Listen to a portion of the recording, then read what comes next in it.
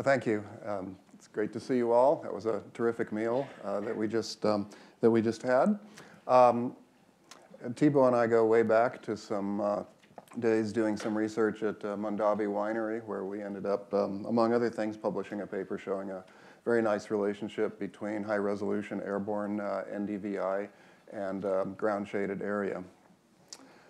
Um, what I'm going to talk about today is some, uh, it's, a, it's a proof of concept system that we've built as a result of uh, some grant-funded research funded uh, federally by the uh, NASA Applied Sciences Program, uh, as well as by various DWR and various other uh, state agencies.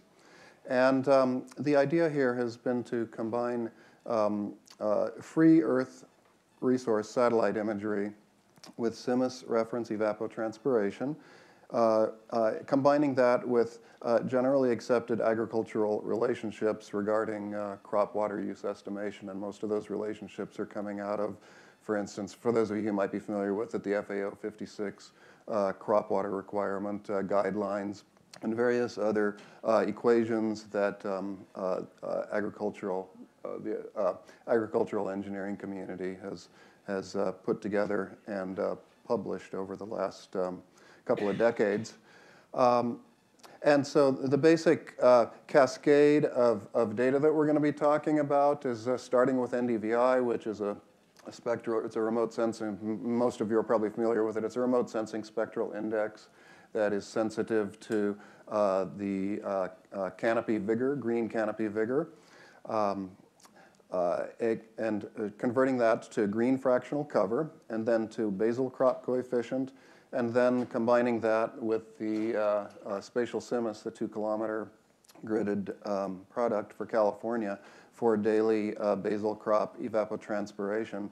And then I, I should also uh, mention that the basal crop coefficient that we're talking about here is maybe slightly different than uh, what Thibaut was talking about a little bit earlier, in that the satellite is going to pick a, it's going to be a crop coefficient for anything growing in the field. So if you've got cover crop, weeds, grass, anything green that's growing down there, it's going to, it's to pick that up. So if, if it's a clean cultivated crop, then it should be fairly close to just that, that water requirement of the vines that um, uh, Thibaut was talking about. Uh, but if there's other grass cover down there, then that could either be an opportunity or a, or a limitation for you. It could be an opportunity uh, in the sense of um, uh, getting a handle on how much water is being pulled out of your soil. The satellite systems that we're talking about, it, it's true that these are um, maybe not super high resolution. It's, uh, it's, they're actually higher than some of the other satellite systems that are, that are out there. Uh, we're using Landsat, which in the remote sensing community is frequently considered a fairly high resolution sensor. It's about a quarter acre resolution, so it's not what you're used to seeing when you look at, at Google Earth or something like that. Um, and it might not be super useful for managing by the vine, but quarter acre could be pretty good for managing uh, managing an overall field that's, say, at least a few to several acres in size.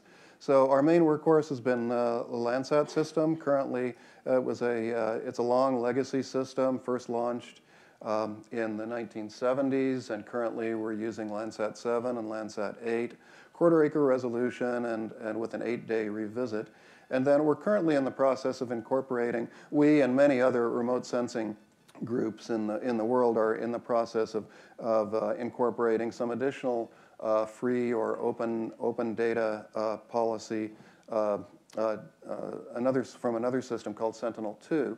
So there's two of those flying, and those are, I'm saying a tenth of an acre resolution. It's actually finer. I was looking this morning. It's actually quite a bit, it's finer than that. It's about 10 meter by 10 meter resolution on this uh, with a five-day revisit. So, um, so by incorporating Sentinel into our system, uh, we're hoping to get many more uh, frequent updates with the satellite observations. So our system looks, um, looks something like this. Uh, here, uh, uh, out in the ocean here, this little cascade here, this is the four um, data sets that it puts out, the NDVI, the green fractional cover, the basal crop coefficient and the crop evapotranspiration. Um, and um, it's built on top of the Google uh, API, so it's very easy to, to search for uh, a given uh, location, either by a name or a road intersection or an address or a latitude, longitude. Very easy to, to, zoom, to zoom in on your field, and you can use various uh, Google overlays in the background, either the satellite or the map. I'm just showing the map here. And so overlaid on this in the blue shading is, is our uh, uh, basal crop evapotranspiration for this particular day, which is June 6th, uh, 2018. And we're basically, current, at the current time, we're mapping uh, uh, pretty much all of the Central Valley, the North Coast, and the, the Central Coast, about 8 million acres altogether. Uh, and one, uh, one thing uh, to note also is that um, temporarily, for those of you who might be trying to pull it up on your phones or your tablets as we sit here, the, the, the, the it's not currently enabled on, on mobile devices, so you'll need to uh, use a laptop or, or a desktop to actually uh, get our uh, site. And I hope you can see our, the URL is kind of on the bottom there. It may be a little bit hard for you, um, for you, some of you to see. Uh, so anyway, this is a problem that we will be addressing shortly in the next few weeks. So just keep that in mind. And so what you can do, uh, we're just looking at the Google satellite here, and so what you can do is uh, uh, zoom into a field of interest. And so here we're looking, I picked a field from the UC uh, Oakville Experimental Station. And um, you'll, it, it presents a, uh, uh, this, this pop-up here, and through with the data services, this is what I'd call point and click, um, you're then able to look uh, to extract any, uh, extract a time series, either, either as a graph or as a comma separated values that you can then pop into a spreadsheet of, of any of the SIMS uh, um, variables, NDVI, fractional cover, basal crop coefficient, and uh, the, the crop ET. And you can do that uh, for any uh, calendar year going back to 2010. So all you have to do is sort of select and, um, and pick there. And so this is an example of a, uh, both a graphical and a spreadsheet output from that. So the graph is showing the, um, the crop evapotranspiration. The range there is from zero to four tenths of an inch. So that's the daily crop evapotranspiration um, uh, for that Landsat pixel, for that quarter acre um, part of that uh, few acre field. Um, and then on the right is an example of the, uh, the, the comma separated values. So there, uh, the left-hand column is, is each day of the year, and the right-hand column is again the, the basal crop evapotranspiration in, um, uh, in inches. And then uh, we also have uh, developed a, an application programming interface so that third-party software clients can um, extract any of those uh, data from our uh, archive. And a, a, current thing that we have is a, uh, it's currently being used, for instance, by the CropManage uh, decision support system, which is a cooperative extension system for fresh vegetables, uh, mostly, in the, mostly in, uh, on the central coast. So they extract our fractional cover to help them uh, uh, adjust their evapotranspiration estimates for those, those particular crops. So this is a little bit more, you can, you can keyboard this in, uh, but it's really easier to point and click if you're just interested in getting a, little bit of data here and there. Uh, it's really made a little bit more from machine to machine. So if there's a, the outside client will automatically send a request to, um, to our system and then can then extract um, data from the system. So we're very interested in supporting um, uh, third-party uh, clients um, if any of these data sets are, are of interest. And so it's the data service, the variable, the location, the crop type, uh, and the date. Um, and then on top of that, uh, we have developed a, a an eRequest uh, uh, post what I'd call a post processor for uh, SIMS. And so this will, in right now, it's, it's, a, it's a spreadsheet. It's currently being turned into a little bit more user-friendly um, uh, web system. But what eRequest does is it takes the, the basal crop coefficient from, the, from SIMS, and then it calculates the, the effects of evaporation from the soil and uh, uh, stomatal regulation uh, uh, as a result of uh, deficit irrigation, both of which affect ET in opposite directions. so it'll calculate the, the evaporation coefficient and the stress, the, something called the stress coefficient, which is similar to this water deficit index, uh, I believe, that Thibaut has been describing off and on today. Uh, and it will come up with a daily uh, crop evapotranspiration. And then, uh, it, and this would be instead of a basal, then this would be what is sometimes called an actual, with air quotes, actual evapotranspiration. Um, and it will also calculate certain water use fractions that can be used to water use fractions that can be used to quantify uh, the efficiency of your on, on-farm uh, uh, water um, applications. And so one of those is the crop consumptive use fraction, which is basically the, uh, like it says, it's the consumptive use divided by your total applied water. It can also uh, account for other use, other beneficial uses of water, such as uh, leaching or climate control. Um, and that's incorporated as something called the agronomic water use fraction. And finally, it will also do if there are any uh, set-asides of the, the, water, either by permit or voluntarily through um, uh, uh, for, for environmental uses, uh, then that can be something called the total water use fraction. So these are three use fractions that Department of Water Resources is, um, is um, interested in. And again, the, the uh, URL for this is uh, kind of low here on the slide. I'm sorry I didn't put that up higher. So you can get it at this spreadsheet and um, uh, also some help files. And if anybody has a chance to test drive it, I would be um, uh, uh, interested to hear your, your thoughts on that.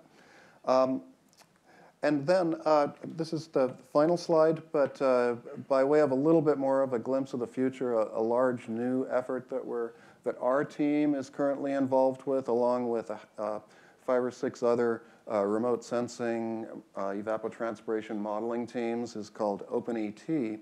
And um, this is a this is a, a, few year project, and the main goal here is to is to uh, uh, improve, uh, increase the the availability of and the accessibility to um, evapotranspiration data. And the idea there is to support um, farm management, which is mostly what we're talking about here today, um, but as well to uh, support uh, water market trading, uh, uh supply chain issues, as well as um, uh, groundwater monitoring.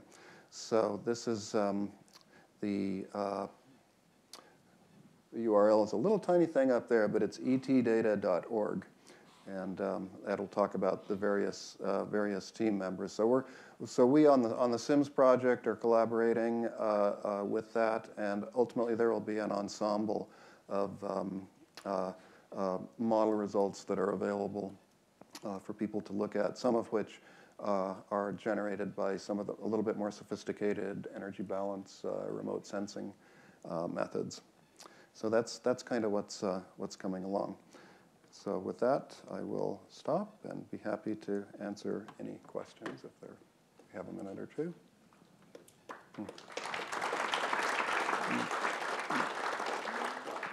Yes, what, are the costs associated with using your service? Uh, there's no uh, no cost on on yeah associated with our service. At the same time, it is a grant funded, and so at, at the moment, uh, we, so we make a best efforts basis to keep it up up to speed, up up up to date. And currently, uh, we, uh, in fulfilling some of our other program responsibilities, we've fallen a little bit behind. So the most recent uh, data you'll find in there is from uh, uh, July of 2018. But we're in the process of bringing that fairly close to up to date um, once, um, uh, once the government, once NASA reopens and we we can get back into the, to the servers there. so yeah, no, no cost. And yes, sir. That is, yeah, that's, that's an excellent question, and that we're, we're keenly sensitive that that is something that for, for real-time irrigation management, that's a really important aspect. And we're working, we're, we're aware of that. We're working very hard towards that. Um, we have had trouble getting a little more up to date than just like a few days behind. And uh, in these, with Landsat, for instance, you can get yesterday's Landsat image today, um, but it's not going to be atmospherically uh, corrected. And so that atmosphere can, it's kind of a remote sensing detail, but it can add some confusion and noisiness to the imagery. So we would really like to be able to do atmospheric correction. And for that, we need some other data sets that are not always available in real time. And so but we have one or two workarounds for that, for doing like an approximate atmospheric correction. So we're, we're working very hard to, to make it something that would be uh, uh, 24-hour system. And I think with, with the, with the etdata.org, that's, that's, a, that's a goal there. And so at the moment, it's both SIMS and AirQuest are a little bit more useful for looking retrospectively, maybe comparing years, that sort of thing. Um, but going forward, that's where the community is aware of that, and uh, the remote sensing community is aware of that, and we're, we're um, working on that very hard. I have another question. You said that you could, you could mine the data from this with another program, so, so somebody else could. Um, write a program that's specific for their farm and, and try to mine the data from that when this comes real time. Yes, yes. So if anybody who is interested in doing that, or maybe works with a crop consultant that's got their own own thing, um, uh, you know, have them talk to us. We we're happy to share the the details on the uh, on the application programming interface and how to how to um, uh, hook into that.